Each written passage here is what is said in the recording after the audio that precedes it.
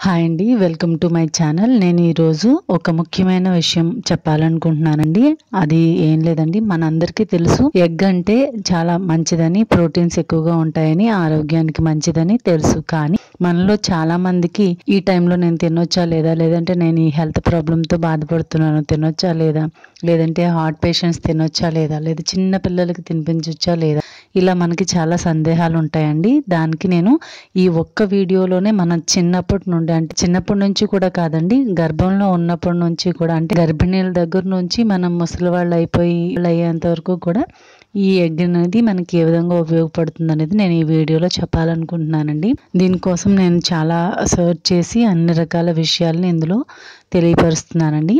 ఒకవేళ మీకు ఏమైనా డౌట్స్ ఉంటే కనుక కామెంట్స్లో నాకు తెలియచేయండి. ఓకే ఇప్పుడు వీడియోలోకి వెళ్ళిపోదాం. ఇప్పుడు మనం ఎగ్స్ తినడం వల్ల ఉపయోగాలు ఏంటనేది ఇప్పుడు చూద్దాం. మనకి కొన్ని తెలుసండి కానీ అన్ని రకాలుగా మనకి ఎగ్ అనేది ఎలా ఉపయోగపడుతుందో నేను ఇప్పుడు చెప్పాలనుకుంటున్నాను. ముందుగా మన మెదడు బాగా పనిచేయాలంటే ఎగ్ బాగా ఉపయోగపడుతుందండి. అంతేకాకుండా జ్ఞాపక శక్తి కూడా బాగా పెరుగుతుంది.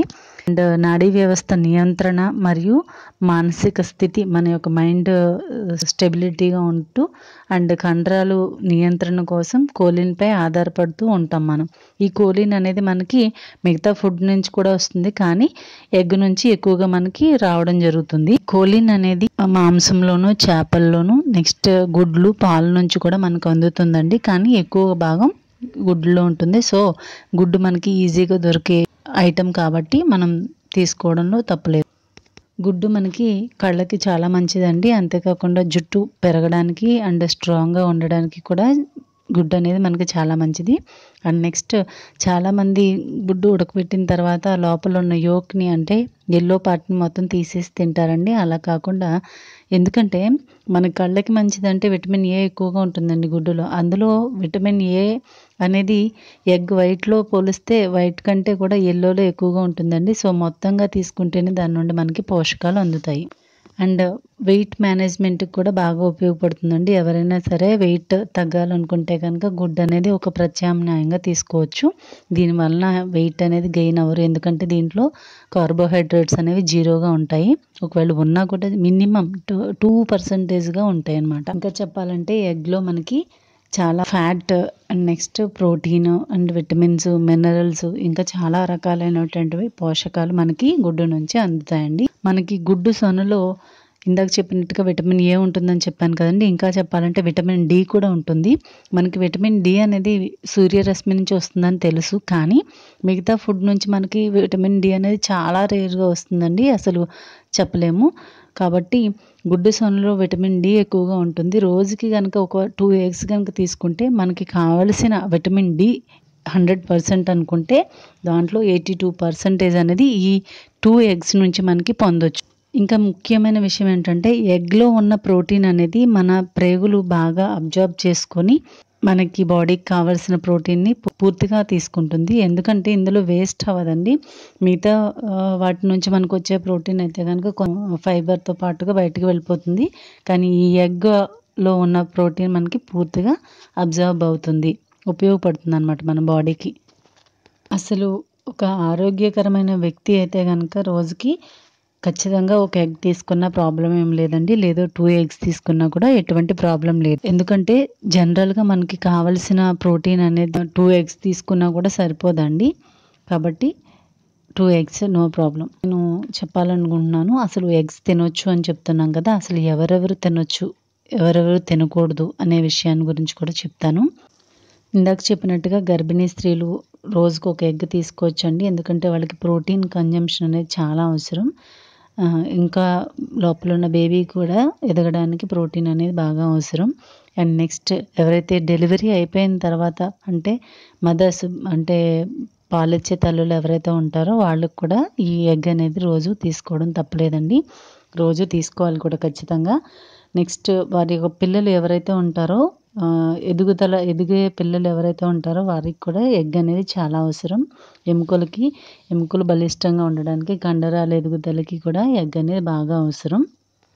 ఇంకా చిన్న పిల్లలు అంటే అప్పుడే పుట్టిన పిల్లలకి అయితే మనం ఏమి ఇవ్వం కదండి? ఆహారం మొదలు పెట్టిన నైన్ అంటే మనం ఇంచుమించు కొంతమంది సిక్స్ మంత్స్ నుంచి ఆహారం మొదలు పెడతారు కొంతమంది ఎయిట్ మంత్స్ నుంచి మొదలు పెడతారు చిన్నపిల్లలకి కానీ చిన్నపిల్లలకి నైన్త్ మంత్ వచ్చినప్పటి నుంచి కూడా కొద్ది కొద్దిగా మాంసాహారాన్ని అందించవచ్చు అంటే చాలా తక్కువ మొత్తంలో ముందుగా అలవాటు చేయాలండి. సో నైన్త్ మంత్ దగ్గర నుంచి కూడా చిన్నపిల్లలకి ఒక కోడిగుడ్డులో చిన్న చిన్న పార్ట్స్ చేసుకుని లేదంటే పేస్ట్ రూపంలో కానీ వారికి అందించవచ్చు అలా ఒక సిక్స్ మంత్స్ వరకు పెడితే కనుక నైన్త్ మంత్ నుంచి సిక్స్ మంత్స్ వరకు అంటే ఇంకా ఫిఫ్టీన్ మంత్స్ అలా వచ్చేంత వరకు వన్ అండ్ హాఫ్ ఇయర్ అలా వచ్చేంత వరకు పెడితే నెక్స్ట్ నుంచి ఒక ఫుల్ ఎగ్ అనేది మనం వాడికి ఇవ్వచ్చు. ఇంకా చెప్పక్కర్లేదండి. ఎదిగే పిల్లలకైతే కనుక ఖచ్చితంగా గుడ్డు ఇవ్వాలి. చాలామందికి ఒక అపోహ ఉంటుందండి. డయాబెటీస్ వాళ్ళు కానీ హార్ట్ ప్రాబ్లం ఉన్న వాళ్ళు కానీ ఎగ్ తీసుకోవచ్చా లేదా అనేది ఒక అపోహగా ఉంటుంది. ఇప్పుడు దాని గురించి నేను ఒక సిడ్నీ యూనివర్సిటీ వాళ్ళు తెలిపిన ఒక రిపోర్ట్లో ఈ విధంగా రాశారండి. డయాబెటీస్ వాళ్ళు ఒక వీక్కి వన్ టు ట్వెల్వ్ ఎగ్స్ వరకు తీసుకోవచ్చు. డయాబెటీస్ ఉన్నవారు ఎగ్స్ తినని వారితో పోలిస్తే గుండె వ్యాధుల ముప్పు తక్కువగా ఉన్నట్లు ఈ యూనివర్సిటీ వాళ్ళు తెలిపారు. అంటే ఎగ్ అనేది హార్ట్ హెల్త్కి కూడా సపోర్ట్ చేస్తుందన్నమాట. అండ్ ఇందులో కార్బోహైడ్రేట్స్ అస్సలు లేవు కాబట్టి షుగర్ అనేది కంట్రోల్లో ఉంటుంది. ఓకే మంచిదే. కానీ ఇందులో బ్రౌన్ ఎగ్స్ మంచివా వైట్ ఎగ్స్ మంచివా అనేది చాలామందికి డౌట్గా ఉంటుందండి. ఏ టైప్ ఆఫ్ ఎగ్స్ తీసుకున్నా కూడా రెండు సేమ్ క్వాలిటీగాను అండ్ సేమ్ న్యూట్రిషియన్స్ వాల్యూస్ ఉన్నట్టుగా మనకి ఒక అధ్యయనం ద్వారా తెలుస్తుంది. మనకి కొన్ని ఎగ్స్ పాడైపోతూ ఉంటాయండి. అది ఎగ్ మంచిగా ఉందా లేదా పాడైపోయిందా అని తెలుసుకోవాలంటే కనుక పైన చూపిస్తున్న విధంగా ఒక కప్లో కానీ గ్లాస్లో కానీ వాటర్ తీసుకుని దాంట్లో ఒక ఎగ్ని డిప్ చేయాలండి. అది పైన చూపించినట్టుగా బాగా మునిగి ఉన్నట్టయితే కనుక మంచిది. కొంచెం తేలుతూ ఉన్నా కూడా పాడైనట్టుగాను బాగా పూర్తిగా తేలిపోతే ఇంకా అసలు పని చేయదు అన్నట్టుగా మనం నిర్ధారించుకోవచ్చు. ఎప్పుడు కూడా ఎగ్స్ అనేవి బాగా నీటి అడుగున మునిగేటట్టుగా ఉండాలి. ఓకేనండి. కోడిగుడ్లను అసలు ఫ్రిడ్జ్లో పెట్టవచ్చా పెట్టకూడదా? నేను చాలాసార్లు చదివానండి. కొన్నిసార్లు ఏమో ఫ్రిడ్జ్లో పెట్టకూడదని కొన్నిసార్లేమో కొన్నిసార్లు ఏమో ఫ్రిడ్జ్లో పెట్టవచ్చని విన్నాను. ఇంతవరకు ఇంతకీ ఏది కరెక్టో ఒకసారి చూద్దాం. ఒక ప్రాపర్ స్టోరేజ్ కనుక మనకు ఉంటే కనుక ఫ్రిడ్జ్లో త్రీ టు ఫైవ్ వీక్స్ వరకు నిల్వ ఉంటుందండి. ఎక్స్పర్ట్స్ ఏం చెప్తున్నారంటే కనుక ఎగ్స్ బెస్ట్గా స్టోర్ చేయాలంటే కనుక రూమ్ టెంపరేచర్లోనే బాగుంటుందని చెప్పి చెప్తున్నారండి. ఎందుకంటే ఫ్రిడ్జ్లో పెట్టడం వల్ల బ్యాక్టీరియా అనేది గుడ్డు పైన ఉన్న షెల్ పైన బ్యాక్టీరియా ఫామ్ అయిపోయి అది కొంతకాలానికి అది లోపలికి ఉన్న లోపల ఎగ్లో ఉన్న మిశ్రమంలో మిక్స్ అవుతుందని చెప్పి వాళ్ళు చెప్తున్నారండి.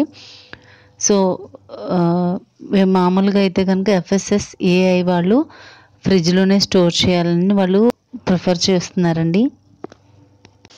వేరే అదర్ కంట్రీస్లో అయితే కనుక ఎగ్స్ని ఖచ్చితంగా ఫ్రిడ్జ్లోనే పెడతారు. వాళ్ళు ఎగ్స్ కాదు రిమైనింగ్ ఫుడ్ మెటీరియల్ అంతా కూడా వాళ్ళు ఫ్రిడ్జ్లోనే స్టోర్ చేస్తూ ఉంటారు. మన ఇండియాలో కూడా మ్యాక్సిమం అందరూ రి- ఫ్రిడ్జ్లోనే ఎగ్స్ని పెడుతూ ఉంటారు.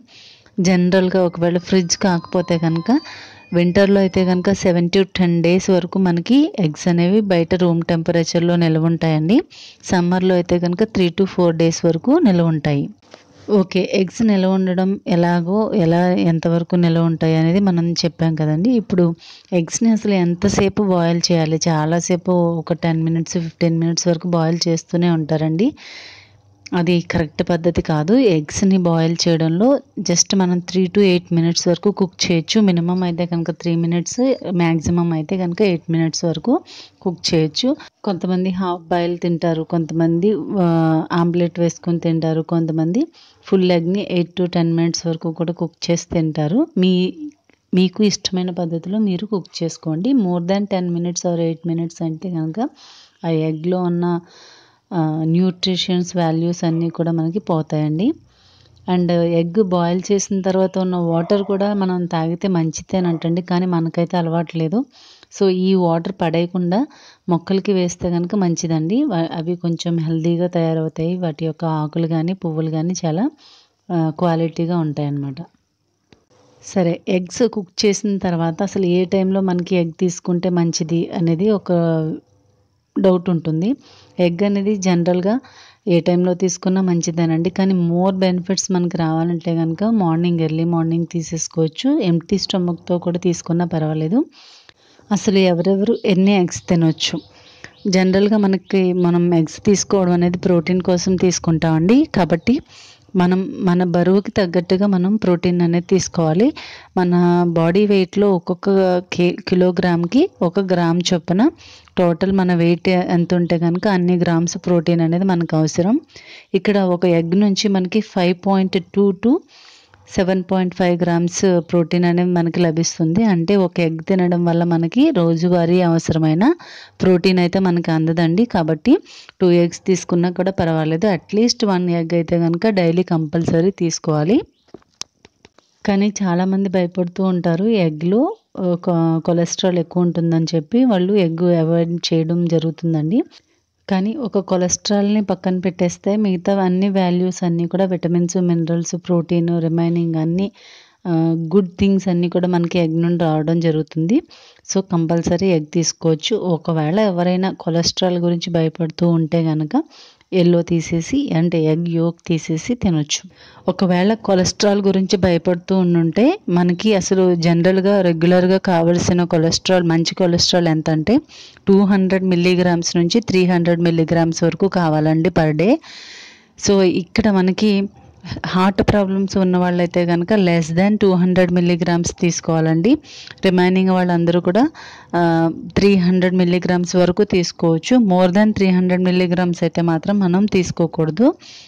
ఇక్కడ మనకి ఒక ఎగ్లో తీసుకుంటే ఒక ఎగ్ ఎల్లో ఫుల్గా తీసుకుంటే కనుక మనకి one hundred and eighty six point five milligrams నుండి టూ హండ్రెడ్ ట్వంటీ మిల్లీగ్రామ్స్ వరకు మనకి కొలెస్ట్రాల్ అనేది వస్తుందండి. అయితే ఇది మంచి కొలెస్ట్రాల్ అనమాట సో ప్రాబ్లం అయితే ఏమీ లేదు. ఒకవేళ ఎవరైనా అవాయిడ్ చేయాలనుకుంటే కనుక అవాయిడ్ చేయొచ్చు. ఇంకా ఎగ్ ఒకవేళ కొంతమందికి చాలామందికి ఎలర్జీ ప్రాబ్లమ్స్ ఉన్న వాళ్ళు ఎగ్ తినడం వల్ల వాళ్ళకి ర్యాషెస్ రావడం కానీ రిమైనింగ్ ఏమైనా హెల్త్ ఇష్యూస్ రావడం కానీ జరుగుతూ ఉంటుందండి.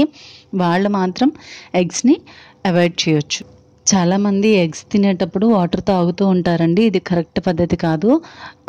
చాలామంది చెప్పేది ఏంటంటే కనుక ఎగ్స్ తినేటప్పుడు వాటర్ తాగకూడదని చెప్తున్నారు. ఎందుకంటే మనం ఎగ్ తిన్నప్పుడు దాని ద్వారా వచ్చే ప్రోటీన్ ఏదైతే ఉందో అది వాటర్లో డైల్యూట్ అయిపోయి మన బాడీకి పూర్తిగా ప్రోటీన్ అందకుండా ఉంటుందన్నమాట. సో ఎగ్ తినడం వల్ల ఉపయోగం అయితే ఏమీ ఉండదు. సో ఎగ్ తినేటప్పుడు వాటర్ తాగకుండా ఉండాలి.